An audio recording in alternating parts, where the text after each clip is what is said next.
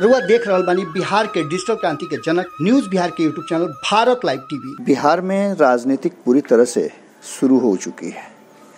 अब आपको बता दें कि जहाँ एक तरफ़ तेजस्वी और नीतीश खेमे में जमकर एक दूसरे पर वार, प्रतिवाद और हमले का दौर जारी था, वहीं भारतीय जनता पार्टी ने भी अब पूरी तरह से अपना पत्ता खोल दिया है। प्रदेश अध्यक्ष संजय जायसवाल ने हमला करते हुए कई सारी बातें कही हैं और उनका समर्थन भारतीय जनता पार्टी के कई नेताओं ने किया है। नागरिक संशोधन बिल पर अफवाह फैलाकर बवाल, दंगा और हंगामा कराना चाहते हैं। इसी बात के साथ संजय जायसवाल ने तेजस्वी खेमा पर हमला किया है। जायसवाल ने नसीहत देते हुए अपने अतीत में झांकने और अपनी कारगुजारियों का स्मरण करने की बात कही है। नागरिक संशोधन बिल पर अपने कार्यकर्ताओं को संबोधित करने दरभंगा के टाउन हॉल पहुँचे थे। वहीं उन्होंने बहुत सारी बातें कही।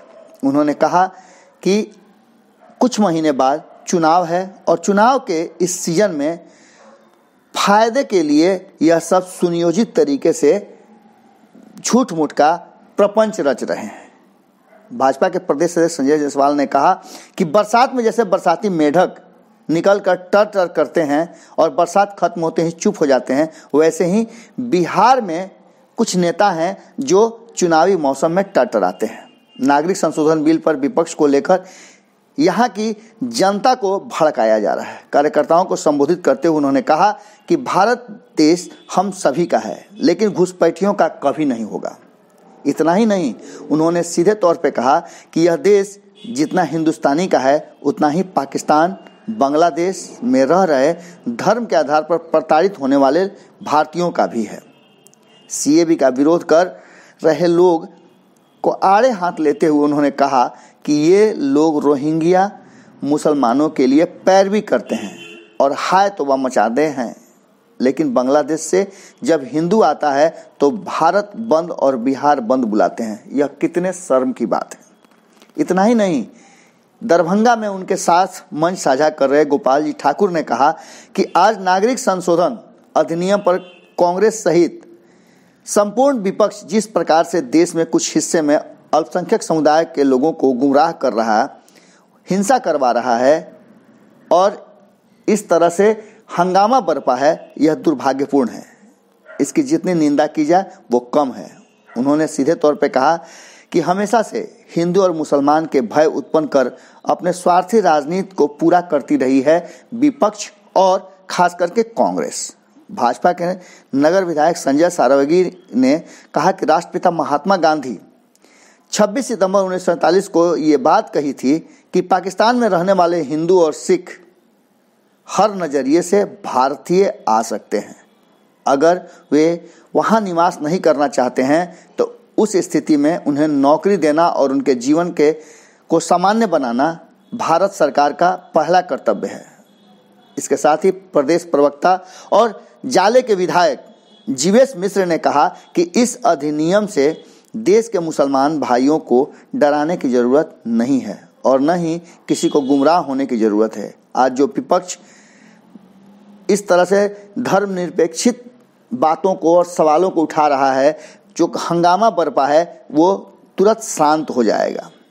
उन्होंने कहा कि यहाँ कोई प्रताड़ित नहीं होने वाला है। जो जैसे है, वैसे रहेगा, सिर्फ़ विपक्ष झूठ मूठ का प्रपंच रचकर एक खास वर्ग को आंदोलित करवा रहा है और उन्हें डरा धमका रहा है। तथ्यों को सामने रखने के लिए हर तरह से प्रयास किया जा रहा है। हम इस तरह के किसी भी विरोध प्रदर्शन का साथ नहीं दे सकते। बिहार और बिहार के लोगों को हर तरह से साथ रहना, सुरक्षा देना भारतीय जनता पार्टी का कर्तव्य है और भारतीय जनता पार्टी इसे करेगी। विपक्ष झूठ मूठ का प्रपंच रचना बंद कर दे, क्योंकि उसे पता चल गया है कि जिस तरह से लोकसभा में वो शून्य पर आउट हो गए हैं, उसी तरह से विधानसभा में भी बिहार से उनका सफाया इस बार हो जाना है। इन सब बातों के बाद अब देखना होगा कि विपक्ष इसका जवाब कैसे देता है। हालाँकि विपक्ष ने अपनी तैयारियाँ ज़बरदस्त कर रखी हैं। कल भी आपने देखा होगा कि बिहार बंद का कॉल किया गया था।